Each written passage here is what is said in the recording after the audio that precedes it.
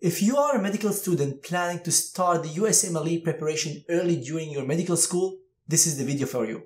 Hey everyone, this is Malke Asaad and welcome to my YouTube channel. Since personally I did not start my USMLE preparation early during my medical school, I reached out to my friend Santiago to share his experience preparing for the USMLE materials early during school. Welcome Santiago to the channel. Alright, thanks Dr. Asaad for having me on your channel. I'm thrilled to be here.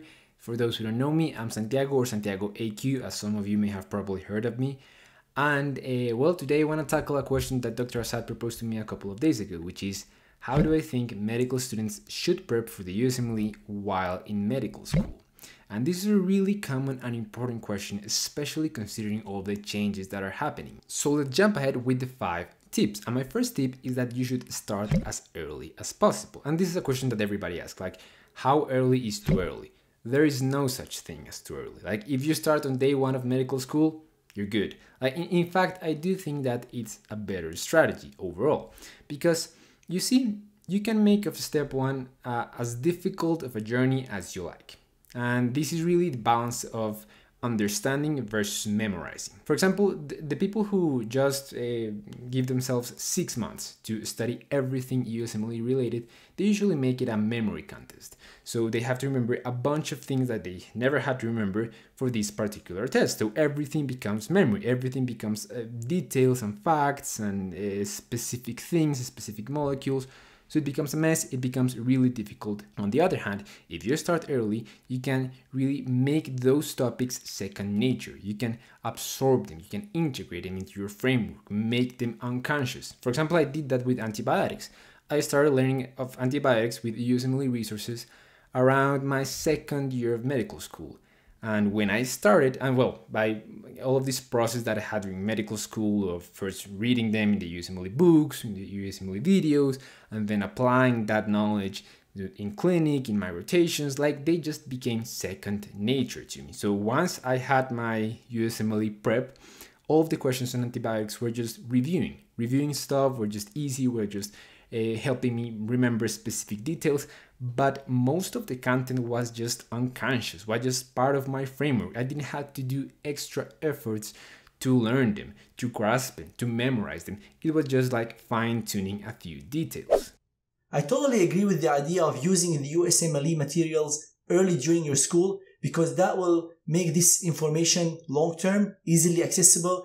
And once you start your dedicated USMLE preparation, it will make that process way easier. Santiago, finding the right resources for the USMLE preparation is one of the challenges of this process. Do you have any tips regarding that? Okay, my second tip is that you should use resources to understand, not to memorize. And in my opinion, this is the biggest mistake I see first year medical students make when they're trying to uh, study for the step one. Because what do first year medical students do? Well, they buy a copy of the first aid, they take a selfie with it, and they post it on Instagram. Well, and then they just start reading the first aid like mad. And in my opinion, this is a problem because the first aid is not a book that teaches you anything. The first aid, and you just have to read a few pages to see what I mean.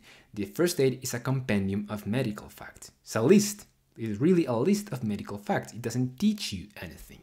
So if you try to uh, like understand medicine firsthand from the first aid, you're just gonna make everything a memory concept. And again, what you should do is make as much of the content as you can second nature, unconscious.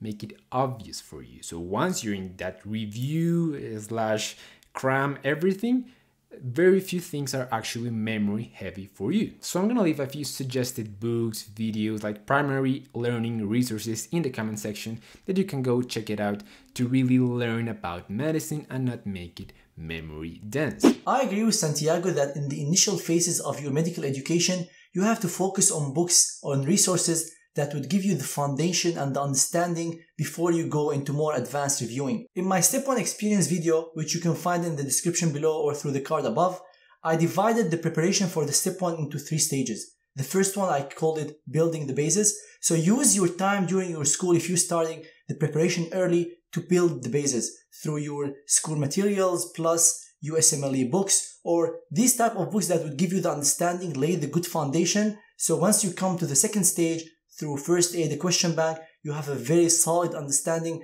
It would be easy to use these resources after you built your basis. Santiago, what about the question banks? Alright, my third tip is that you should get familiarized with USMLE style questions from very early on. Um, maybe not start doing UWorld questions right off the bat in the first day of medical school. No, that's not what I mean. But you should get comfortable and you should get familiar with how the questions are being asked because you, will get like what I like to call the USMLE mentality. You'll start seeing, oh, so that's how they ask this specific concept. Oh, that's th- th- those are the specific details that I should focus on. I feel that question banks could be used in two ways if you're planning to start your USMLE preparation early. Either have a look at the question bank, solve some questions to see the exam style, know how to study, so you don't solve the whole question bank. Let's say you you study microbiology and solve maybe 5, 10 questions, 15 questions after you finish studying the microbiology from other resources. The second way you can use the question banks during your preparation is by doing a specific number of questions every day or choosing to finish the whole question bank after you study certain material. Personally, I prefer to study from an organized material such as a book in which ideas flow from one to another rather than a question bank in which the questions are brought up randomly. Santiago, I feel that one of the most challenging aspects of incorporating USMLE preparation with your school is finding the time and the balance to prepare for both. What is your advice on that? Okay, my fourth tip is that you should try to make your study as frictionless as possible and try to kick two birds with one stone. Uh, and this is really one of the key parts of studying for the USMLE and being successful at it during medical school. Because if you just see it as this other thing you have to do, you, you'll always tell yourself, oh, I don't, I don't have enough time. Like, oh, I have to focus on my career. I have to focus on my medical school. I have too many things I need to read. So if you just give excuses to yourself all the time, you'll never actually take the time needed to prepare for the USMLE. So what you should try to do is you should, again, kick two birds with one stone. Use the USMLE resources as a primary learning tool for your medical curriculum. And believe me, it can be done. It just, again, needs a few select a, a, a, good selection of resources. If you try to do that with the first aid, you're gonna fail miserably. But if you try to do it, for example, with The Crush, which is one of the books that I'm gonna suggest in the comments, well, you'll find that the Crush book is actually really, really good at teaching you important things about basic and clinical sciences. And in fact, it was a way in which I learned medicine much more thoroughly than many of my peers. So try to see it in that way. Try to see that you're not learning this other thing. You're learning medicine just with a different lens, just with a different resource. And believe me, you're gonna see good damn results compared to some of your partners if you find a good resource. Again, I think that combining the USMLE materials with your school is one of the most challenging aspects of the advice that we'll be giving you through this video. Whenever you decide to use the USMLE materials early in your school, there are several things to keep in mind. The first is how determined are you to come to the States and pursue the USMLE journey? If you're 100% committed to that route, keep in mind that your medical school scores are not as important as the USMLE scores. So in this situation, you have to find the time for the USMLE preparation because this is your goal. But how can you find the time? You either have to decrease the amount of time you dedicate to your school materials or use some of the free time you have to start your USMLE preparation. The other thing to keep in mind, which many medical students overlook, is that your USMLE preparation will help you in your school preparation. I know personally many medical students who used the USMLE materials and they performed extremely well, even better than those who study school materials in their school exams. So you can see that medicine is medicine. Although there are minor differences between each school and each country, but you will see that the majority of the information will be present in the USMLE materials, in your school materials, because medicine is medicine. I also found that the preparation for the USMLE helps you in exams other than the US. So the USMLE kind of crosses borders.